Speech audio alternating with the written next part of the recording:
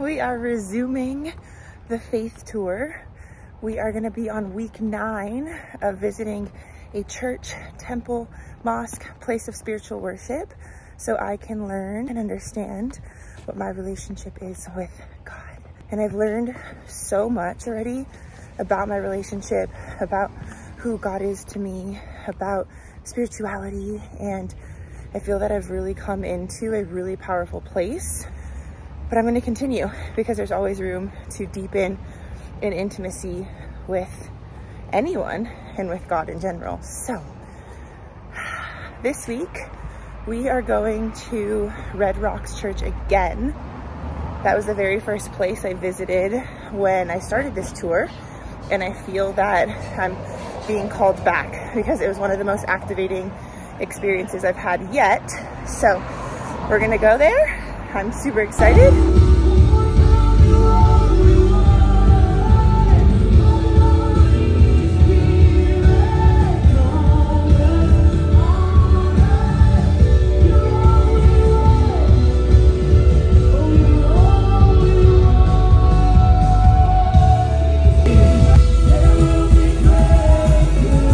Tagline Killing the things that are killing you. Now, I know that's a little aggressive, I know, right? Some of you are like, somebody with too much testosterone came up with that. Lack of confidence. That's the number one definition. Your neighbors say, My confidence is coming back. Tell your other neighbors, say, My confidence is coming back. to find out you're a fraud, you're a hypocrite. Who are you kidding?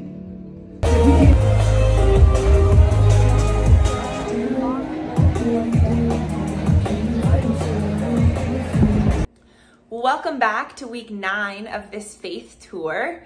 Technically, it's week 11 because I took two weeks off for integration, but we'll just roll with week nine.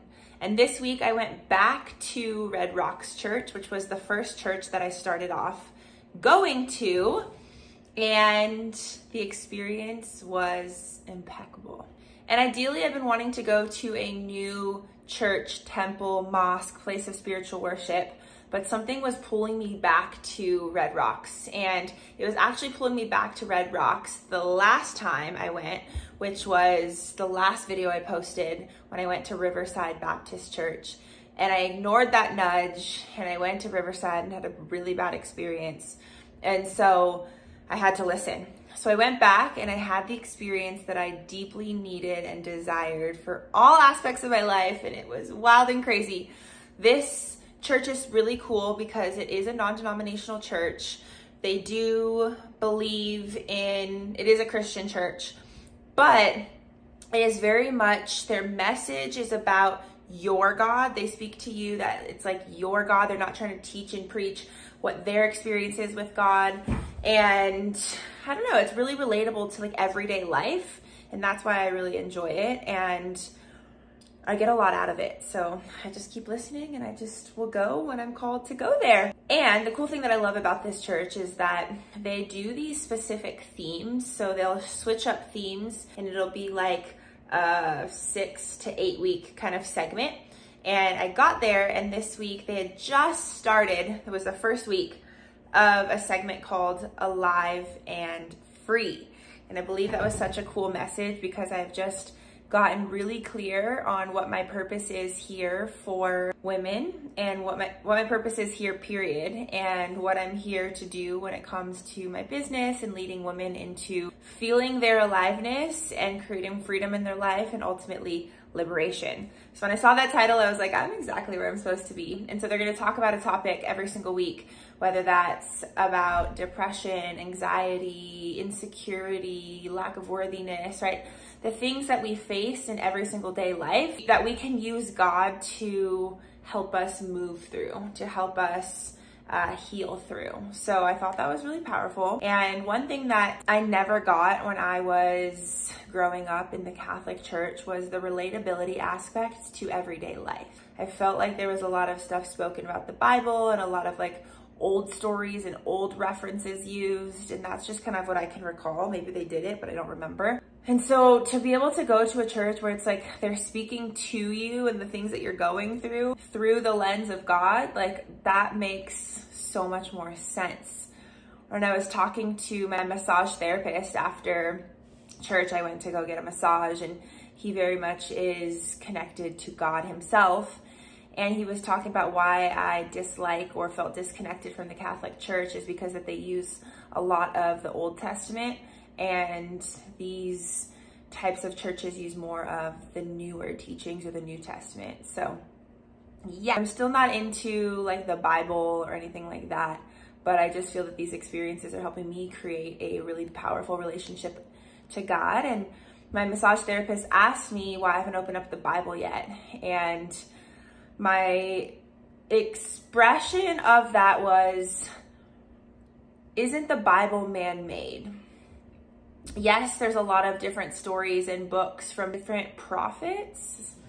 That's the word. Again, I haven't dove into the Bible again since I was in Catholic school, but I know that many of them were connected to Jesus. And I don't know, this is just my open teaching and open or my open sharing. But I felt that how much of the Bible is true because people can fabricate their stories when they're telling stories no matter what. And through the trainings that I've learned about the mind, about memory, a lot of times when we go to tell a story, especially like going to write it after experiencing it, it isn't necessarily always truth. So there's been resistance to that of reading a man-made or man-written book or a book written by all these different men and not hmm, and I think it's just because I feel I want to build my own relationship with God. And people say, well, if you want to, if you want to build your relationship with God, then you got to know God's word. And I'm like, but I can experience God's word through my day-to-day life. So that's just kind of something that came through before I got into even anything that happened at the church. And then the other question he asked me was, why do you not feel connected to Jesus? Because when I went to the church, the very first thing that the pastor opened up with was communion. And he said that if you are not a believer in Jesus yet, then do not take this communion, which I already had personally, in my own discernment, my own religious spiritual sovereignty, had opted out of when I walked in the door. So for him to say that, I was like, wow, like my intuition is so spot on and my connection to God is so spot on that that was just affirming. So I decided not to take the communion. And when I was talking to my massage therapist, he was asking me like why I don't believe in Jesus or why Jesus is such a, triggering subject for me. And my response to him was, why do I need to know Jesus when I already know God? And God is connected to through all religions without Jesus. So why do I need to know Jesus?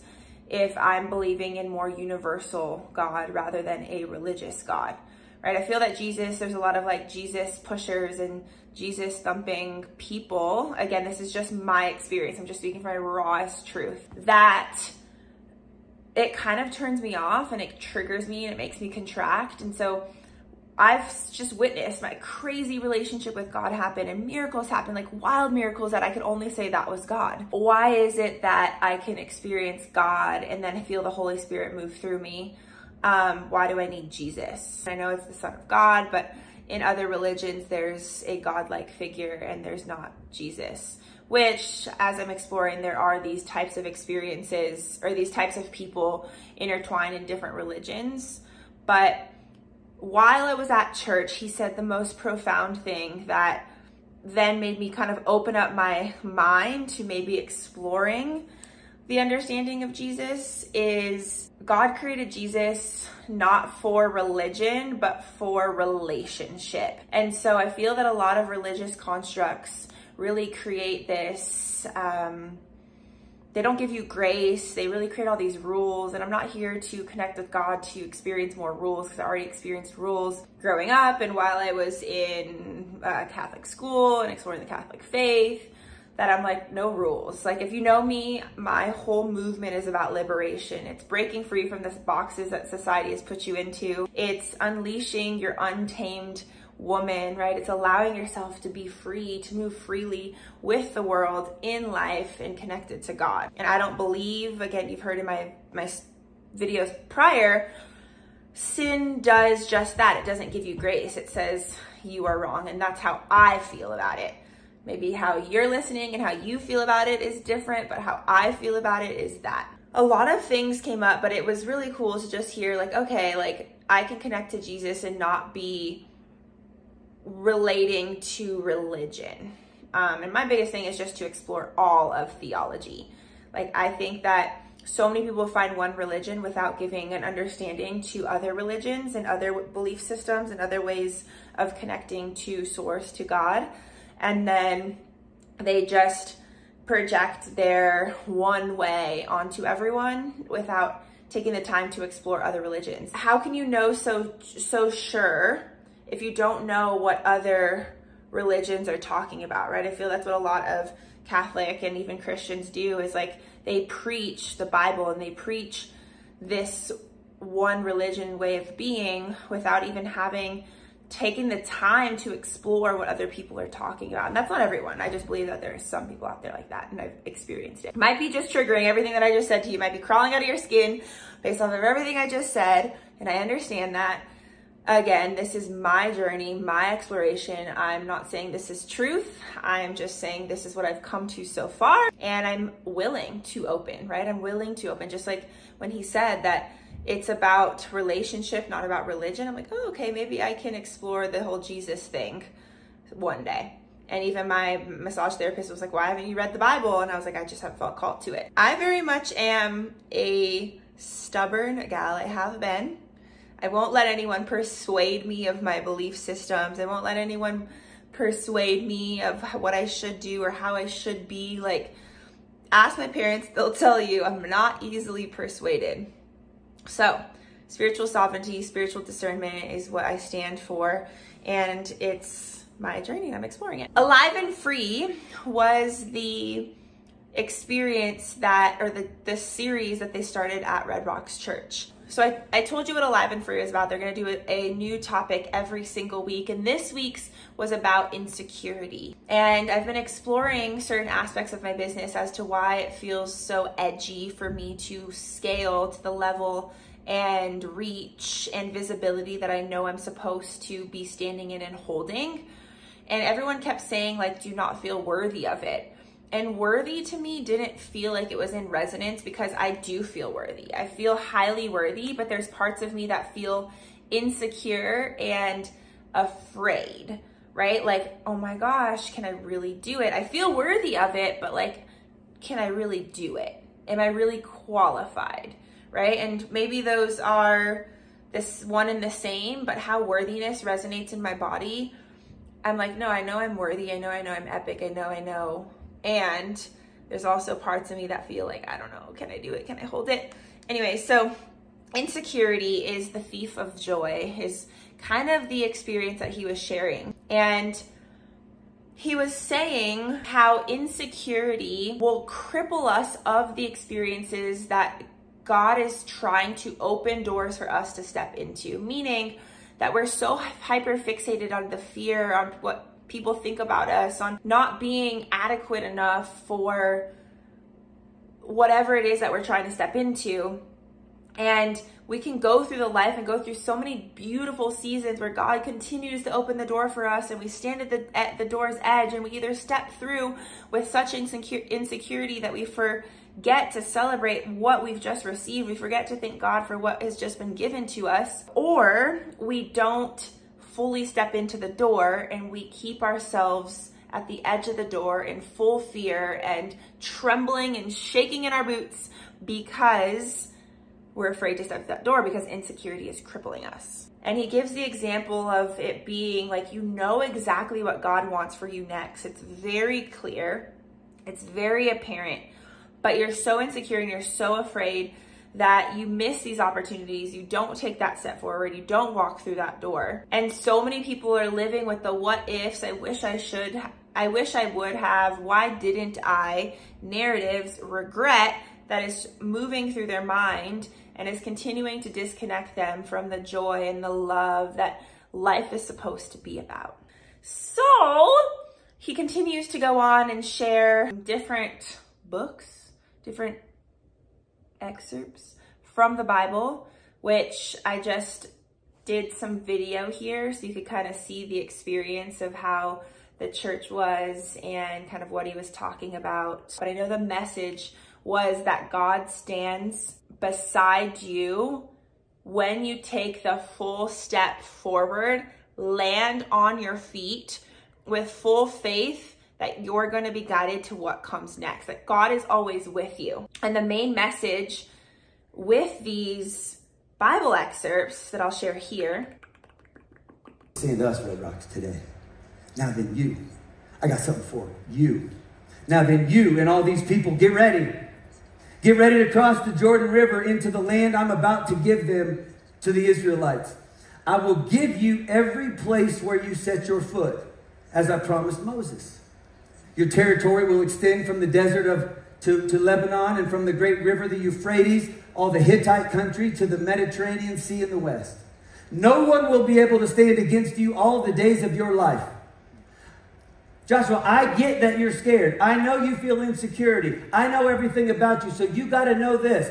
As I was with Moses, so I will be with you. I'll never leave you. I'll never forsake you. And because that's true, you can be strong and courageous, even though you don't know how this is going to turn out. Because you will lead these people to inherit the land I swore to their ancestors to give them. And then he says it again I want you to be strong and very courageous. Be courageous. Be strong and courageous. Do not be afraid. Do not be discouraged, for the Lord your God will be with you wherever you go. God says, I am with you. I will not forsake you. I will not leave you. And that God's word trumps over any feelings that we experience in our life. So continue to remember that God is always with you and that you can hand the insecurity over to God and God will share with you confidence, the confidence that you deserve. And the pastor shared a really cool story about how he went to a conference. I'm pretty sure it was like a conference of a big pastor that was speaking, or maybe multiple pastors. He didn't really ex explain the details, but he goes to this conference. He goes the first day, he's in the subway, he gets super claustrophobic.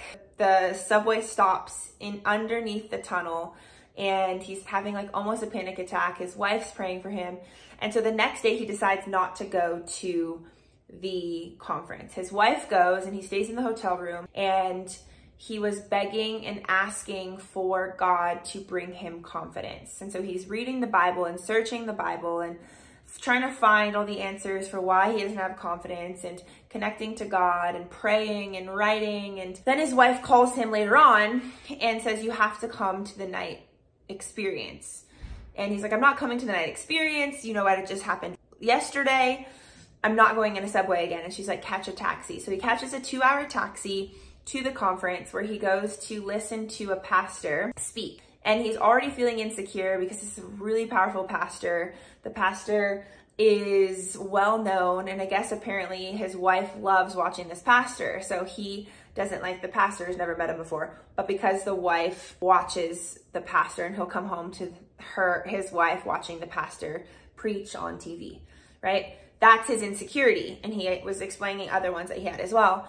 So he decides to go and inside of this, this experience, he walks in knowing that he's been begging and asking and praying and hoping for God to bring him confidence. The pastor starts out the whole experience saying, I know that there's someone in here who needs confidence, who has been praying for confidence. And the pastor was like, Whoa, like he's speaking to me. I didn't know that this was how my confidence was going to be delivered. That was really just epic to witness like God's work. And another reason why I'm like, do you need the Bible? Like he didn't get the message from the Bible. He got it from when he was listening to the pastor. And I get you're going to say like, well, because he listened, he read the Bible, that's why he got the message. Okay. All in all, I thought it was really powerful to just hear that story and the way that he shared it. And then there's a part of me that's coming up right now that's saying like, yes, there's religion, but you also have to do the inner work. So for him to to really fully receive confidence, it's important for him to have a therapist, right? Or for him to do the inner work that allows him and his body to feel confidence, unwavering faith, right? Because I feel like a lot of times people will go to church and they'll want confidence because they're feeling insecure, but they're just trying to receive it from God rather than doing the inner work themselves too, because there is that peace, right? Like you must, I think God, I think they said God opens the doors and then you must take the action to actually make it happen. I wonder if it's in my notes. So yeah, in my notes, he says, put your foot down in faith. So God will meet you once you put your foot down. You can't just sit here in your house hoping, wishing, wanting that it's going to come true and then it happens. It's like you have to meet God halfway. God will meet you halfway. He doesn't insert himself without free will. So he is waiting for you to take the action so then he can bring you the reward, the things that you need that are required for your next steps, for your next level, for the next expression of you. And I loved the example that he used. He's like, I'm not going to give you what you're praying for in your bed, telling your friends I'm praying for this thing. You must take the step in full faith. And when you take the step in full faith, that's when I will meet you. Just a really cool words of wisdom to remember. Like, it's also part of like law of manifestation that you you can manifest and do the visualization and write it down but you must actually take the action in order in, in order to receive the manifestation that you desire. So what I'm recognizing and witnessing in all of these experiences is everything is so connected and related and everyone is just coming back to the fact that there's a higher power and that there's love, right? And that we are love consciousness, which I think is really cool. But these experiences just helped me to have bigger breakthroughs. And so he gave the example of taking the action by sharing this experience that he started this church, I guess it was like 19, 20 years ago. And they had 75 members and then they did a fundraiser. The fundraiser lost money, but because the fundraiser was combined with Colorado Christian University, he gained 75 new members overnight. So they were at a from 75 to 150 overnight. I love that share because it was such a reminder that shit can shift quick, right? That miracles happen all of the time and that we don't need to grow our lives in a linear fashion. That magic happens all the time. Miracles happen all the time. But when we put our foot down in full faith, God will meet us with those miracles, which just gave me the chills. So that was the gist of it. And then at the end, they asked you to go up if you wanted to pray and worship at the altar. It's if you wanted just to feel more of God, connecting, I think connection to God and the Holy Spirit and I guess Jesus. You go up to the altar and those that are familiar with this, you'll know what it's called. I was sitting in my aisle, sitting in my chair in the aisle, and I kept feeling my like left foot like twitch, which was the way to the aisle. And then it like actually took a couple steps forward and I was or to the side to like leave out the aisle to go to the front because I wanted to be prayed over. And I was like, no, I can't do that. I just rejected the communion. I have a hat on, like all of these excuses as to why I shouldn't go to the front to experience the prayer. And something was just like, this is exactly what the message is about. It's about insecurity. And if you're feeling afraid to go do something, you must go do it. So I asked the people next to me if they could move out of the aisle so I could go to the front. Didn't know why I was trying to go to the front. I just knew I had to go to the front. So I always listened to that. And I went to the front and I stood next to this woman. I was standing there and nothing was happening. I was just like praying, feeling the music. At this church, you can literally feel like music thumping in your heart, which feels like God is like, like um, inhabiting your heart is like part of you because it's like, every time the bass like hits. I'm feeling that. And then towards the end, there was a song that's like, you are surrounded, surrounded by God. And I was thinking about the challenges that I'm facing up to this point in my life and one that continues to surface kind of the same recurring theme that I haven't figured out the lesson yet, so it keeps showing up. I thought that's what I was going to like heal from or move through until I realized that that challenge was connected to my mom. And if you are new here, my mo mother is in early stage, moderate stage dementia that's progressing. And I was just back home with her for two weeks, which is why I took a pause.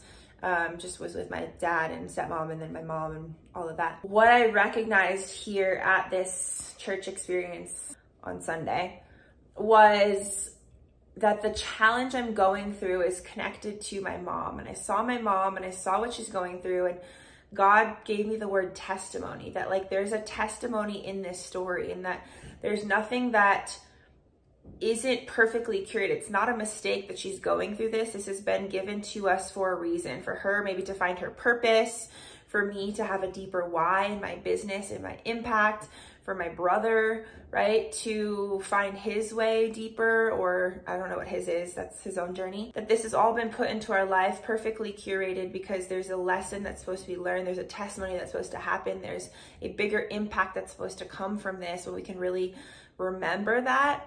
And so the feeling I was just feeling, it was just all the love I have to her, all of the power that she still holds within her to heal.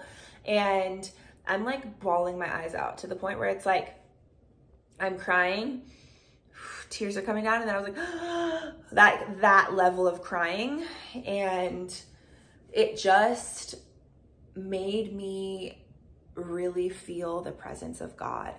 And not in the context of religion, not in the context of anything other than my relationship with God.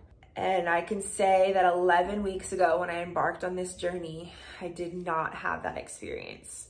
It was 11 weeks ago since I went to Red Rocks for the first time. And my massage therapist asked me, What did you notice that was different? And I said, It was definitely a lot more receptive. I was definitely a lot more vulnerable. I was definitely a lot more open to the messages. And I definitely felt the presence of God in not just like, oh, you're there, but like, oh, you've been there. And this journey together the past 11 weeks has been so profound. Like, it's just really cool to continue to explore and deepen my relationship with God. And I feel like I'm to continue to cry. Literally 11 weeks ago, I hadn't cried, yeah, like maybe like four or five or six months. Like there was not a single tear that would come out of me. I'd pray to God that I would have a cry. The minute I prayed to God that I would have a cry, I cried. But not having a cry for the past four to six months was so numb. Like, and numbness is worse than anything you could ever experience because when you're numb, you stop you stop participating in life. When you're sad, you still have a heart that feels. When you're numb, you're numb. You're checked out of life. It's almost like you have like a like a glass encasing over you that nothing can penetrate you. You're just like so numb to life. And I don't recommend that. If you are feeling numb, I highly recommend a lot of things. and this is not a coaching experience. So um, if that's something that you are feeling, you can just go ahead and email me. I'll put my email in the, the description below. Just know that numbness, you can bring yourself out of numbness. We call this in the ner nervous system dorsal vagal collapse or checkout, where you check out of life and you must bring yourself through dorsal vagal back into sympathetic, back into the more resting state, the safety state, the connected state. That's my experience with this church. I love it. I love the experience. I love the journey I'm on. I'm so grateful to be able to experience this. I feel like there's to be a book I can write one of these days or something that I'll share with people. I don't know. This experience is super cool. I highly recommend if you haven't found your relationship with God that you embark on a faith tour. So epic.